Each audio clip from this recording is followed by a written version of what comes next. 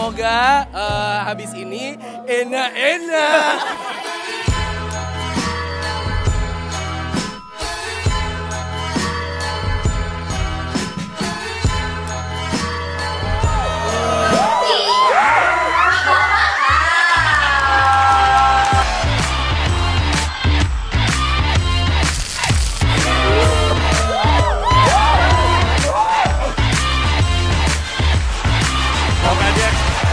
Jangan lupa untuk swipe up.